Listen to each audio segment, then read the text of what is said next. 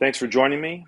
This is our THG Automation URCAP for our Universal Robots and Fronius welding system.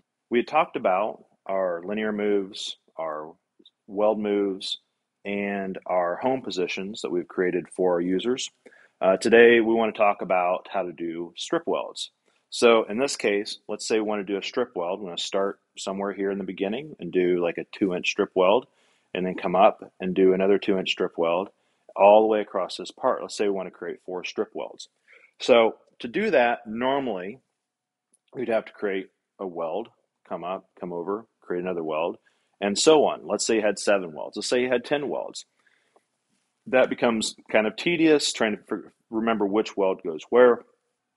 So we've created a strip weld function. We got a strip weld node on our screen. You see it coming down the fourth node on the left.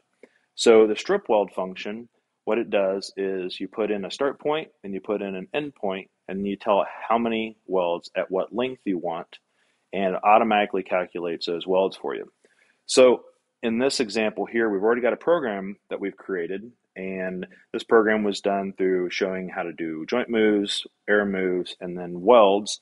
Now we're going to delete the weld that we have in here and we're going to add a strip weld in there. So let's go to weld start and let's hit delete. And now let's hit strip weld. So strip weld is really simple. Um, you have to create a start point and end point first. So we're going to move our robot over and we know our weld, our, our moves will always already get us here, so we don't have to worry about the moves in and out. Um, but what I want to do is I want to turn on our teach mode again, which we talked about earlier. Teach mode keeps us from from uh, breaking our wire off or bending our wire. So um, let's shoot our wire out so we can see exactly where it's going to set in the weld joint, which is really nice since you have cast the wire and sometimes where it actually hits is not exactly where you think it's going to hit. So now we know exactly where that joint's going to be. So in our node, we have a create waypoint for the selection, the section start point and the section end point. So we're going to hit create waypoint and now we got a move screen that pops up and we'll press OK for that. Now let's create an endpoint for this. And we don't have to go all the way down. We just create, you know, some location over here to demonstrate the functionality. So now we want to go to the section endpoint and create waypoint and again press OK. So now we have a weld length, okay, or, or a line that goes from here all the way to here. And now we're going to tell the controller to calculate strip welds in that direction. So let's say we put four one inch strip welds on this. Um, I'm going to turn off the teach mode just to keep it quieter. And we're back some wire up here now. Now that we know exactly where our wire is going to set in the weld joint, I'm going to shut that off. Now that we've created our start point and the end point for our strip welds, we're going to go to movement parameters and we're going to set up our actual welds. So we've got our strip length and we said one inch, so we're going to actually go to 25 millimeters. 25.4 is exact, but let's just 20, do 24 or 25. And then we've got our four, so that's already set up for us.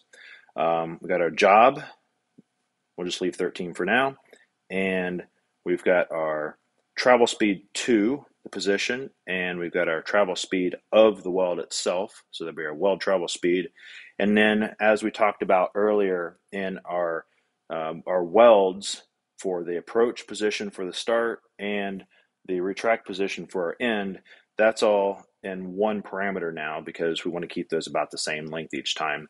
Um, and we can ask, actually start a weave as well. So um, we're not going to discuss weaving today, um, but if you want to go to our other videos, uh, we can show you how to set up a weave, uh, what the different parameters do. It's really simple.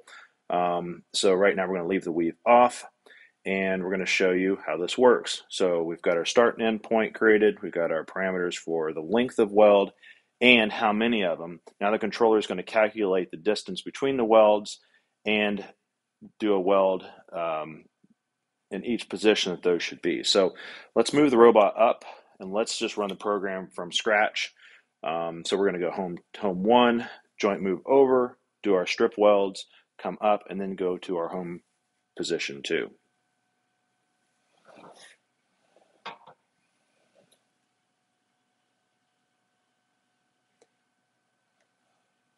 There's our second weld. There's our third weld. And there's our fourth weld. We're going to come up and go to the home two position, and we're done. So that's how simple it is to set up strip welds.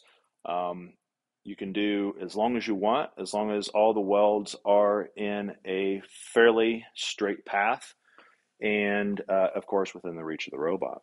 So thank you very much, and come back for additional videos showing you the other functionality.